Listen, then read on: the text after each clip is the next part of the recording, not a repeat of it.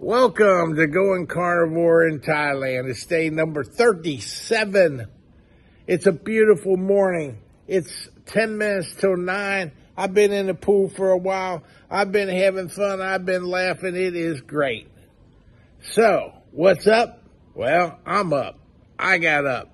What's for breakfast? Eggs. Today we're going to have eggs when I'm ready for breakfast.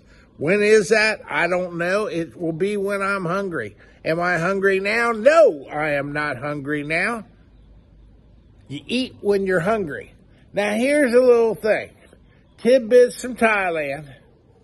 I'm in a place that reportedly has some of the best tasting food in the world. I follow this couple this this wonderful couple that's on YouTube called Lloyd and Mandy. They have for the last two or three years traveled all over the world. They've lived in vans in Canada and and motorhomes. They've lived in hotels in all these countries. Oh, excuse me, from Europe to Asia. They've been everywhere, literally everywhere. They just came to Thailand and they said, you know, we want to settle down. We wanted to bring our dog.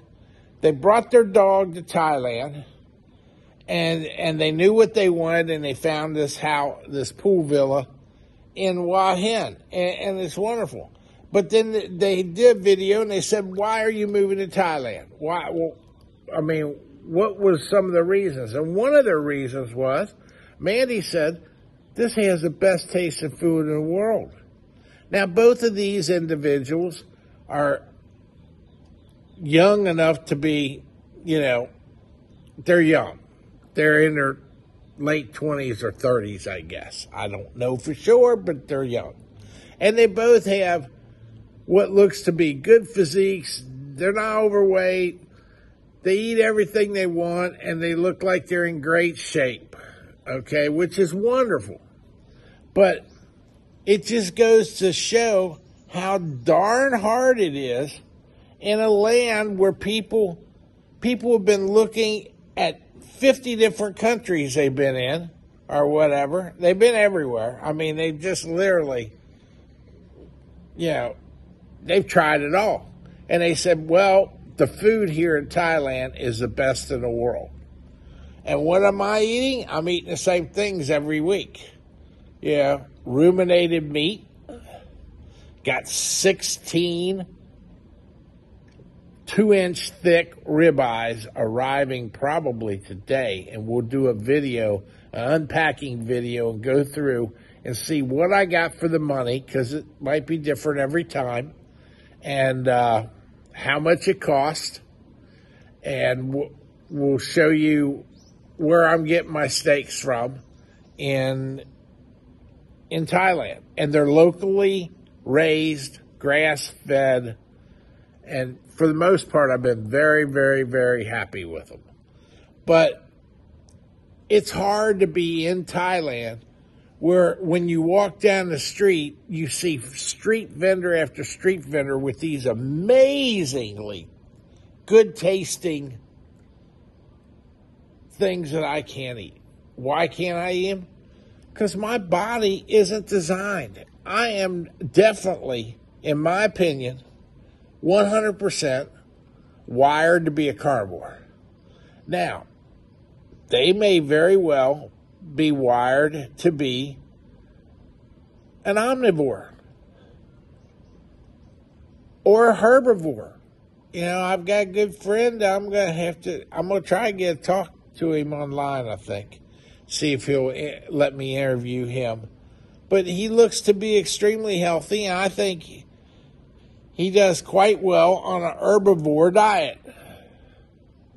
Not everybody's the same, but it is damn tough on me to be in Thailand where they've got some of the tastiest, amazing omnivore foods in the world.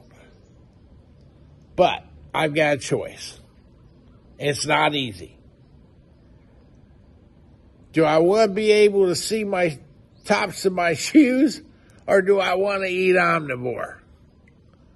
Do I want to live longer or do I want to die? Do I want to be feeling great or do I want to eat omnivore and feel like crap in 20 minutes? You know, they say it's something about Chinese food, for example. They used to say, back in the United States, they used to say, well, you can go out to a Chinese restaurant, you, you can go to a Chinese buffet and pig out.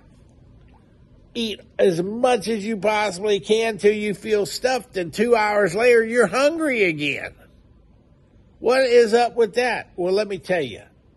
It's that omnivore eat that rice, eat that other stuff that's not ruminated meat or, you know, comes from an animal.